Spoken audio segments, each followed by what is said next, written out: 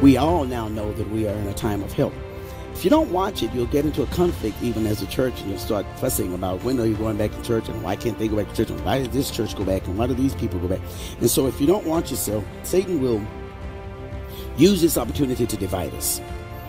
The best thing I would suggest to all of you is to be ready all the time because you don't know when God's going to make his next move.